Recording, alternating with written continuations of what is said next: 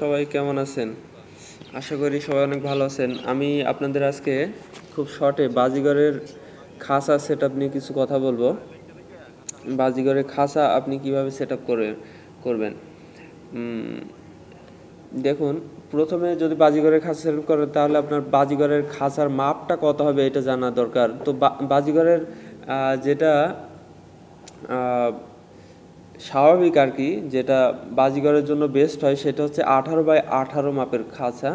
এই খাঁচাটা একটু সাইজটা বড়, আপনি আঠারো বাই বারো সাইজের খাঁচাটাও ব্যবহার করতে পারেন ব্রিডিংয়ের জন্য। এটাও অনেক ভালো, তবে আঠারো বাই আঠারোই ভালো হয়, কারণ পাখির উড়া টুড়া বা বাচ্চা ফুটলে এদের অনেক ভালো হয়। তবে আঠারো বাই বারোতেও করতে পারে। আমি আঠারো বাই বারোই বেশি ইউজ করি। আঠারো বাই আঠারো ব্যবহার করে ব্যবহার করে থাকি। আচ্ছা খাঁচার মাপটা গেল।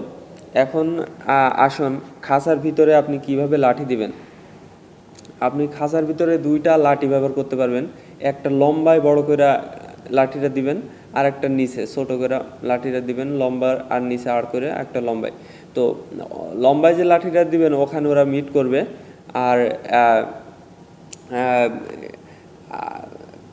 তিন নম্বরে যেটা, সেটা হচ্ছে কি আপনি হাঁড়িটা কীভাবে বসাবেন অথবা কাঠের যে বক্সগুলো পাওয়া যায় ডিমের জন্য বা তা দেওয়ার জন্য বা বেবি যেখানে ফুটবে এটার জন্য, তো আপনি এটা যে কোনো এক কোনায় দিবেন, তবে এটা সব থেকে ভালো হয় আপনার লাঠির পশ্চিম সাইডে দিলে মানে মুখের অপোজিট সাইডে যে সাইডে মুখ থাকবে তার বিপরীত সাইডে আপনি হাঁড়িটা দিলে সব থেকে ভালো হয়।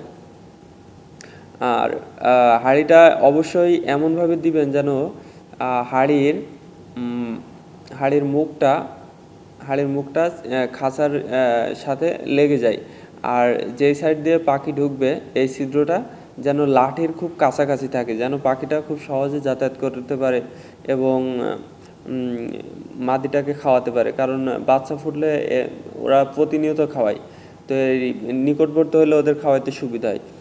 আচ্ছা এখন আমরা আসি খাবার বাটি বা অন্যান্য খাবার পানির পট কীভাবে দিবেন? এগুলো অবশ্যই খাসার যে সাইডে মুখ আছে মানে যে সাইডে আপনি হাইটা দিলেন, তার ঠিক অপোজিট সাইডে, অর্থাৎ মুখের সাইডে আপনি এগুলো দিবেন। মুখের এক সাইডে দেখা যাচ্ছে আপনি পানির পটটা দিয়ে দিলেন। পানির পট আপনি দেখা যাচ্ছে যেটা কিন্তু পাওয়া যায় ছোট সাইজের এটা ব্যবহার করতে পারেন অথবা আপনি বোতলগুলো ব্যবহার করতে পারেন প্লাস্টিকের অথবা পানির ইয়েগুলো ব্যবহার করতে পারেন বাটিগুলো। তো এগুলো অনেক নোংরা হয় পায়খানা ফেরে তো আপনি আহ, যে সুষম যে পানির পটটা পাওয়া যায় এটা কিনলে বেটার হয়।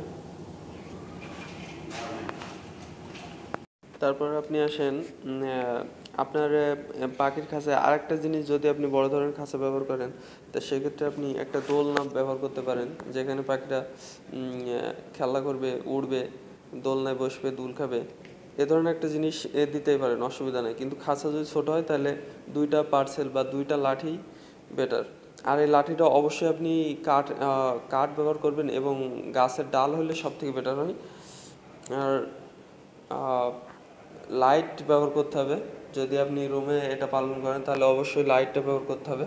তো লাইটটা খাঁচার সামনে হলে ভালো হয়, খাঁচার ভিতরে না দিয়ে। অর্থাৎ খাঁচার বাইরে দিবেন যেন লাইটের আলোটা ঠিক মতো তাদের গায়ে বা খাঁচার ভিতরে প্রবেশ করে, যেন তারা খাবারটা দেখতে পারে, পাখির ছানাগুলো দেখা যায়।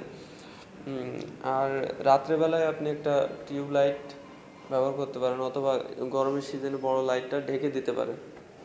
এটাও করতে পারেন। আমি বড় লাইটটাই ঢেকে দিই। আর এনার্জি বাল্বটা দিনে জ্বালাই, যেহেতু আমি ঘরে পাখিটা পালি। আর ট্রে আর একটা বিষয় আমি বলব, ট্রে ট্রে, পাখির নিচে মানে খাঁচার নিচে যে ট্রেগুলো আমরা ব্যবহার করি প্লাস্টিকের, এই ট্রেগুলো অনেক নোংরা হয়। তো এটা থেকে বিভিন্ন জীবাণু আসে বা পাখি ক্ষতিগ্রস্ত হতে পারে। তাই এক্ষেত্রে আপনি কি করবেন, আপনি ট্রেগুলোতে অবশ্যই নিউজ পেপার যেগুলো বাদ পড়ে যায়, এগুলো আপনি দোকানে কিনতে পারবেন, বিভিন্ন জায়গাতে ম্যানেজ করে। এই পেপারগুলো আপনি ইউজ করতে পারেন। এই পেপারগুলো দিলে আপনার পাখি রোগ জীবাণু কম হবে এবং এই পেপারগুলোতে আপনি হালকা স্যাবলন দিতে পারেন, যাতে রোগ জীবাণুটা লাগবে না। তা আশা করছি আমার ভিডিওটা ভালো লাগছে। ভিডিওটা ভালো লাগলে অবশ্যই আমার চ্যানেলটি সাবস্ক্রাইব করবেন এবং আমার সাথে থাকবেন, লাইক দিবেন, ভিডিওটা শেয়ার করবেন। সবাইকে ভিডিওটি দেখার জন্য আবারও অনেক ধন্যবাদ।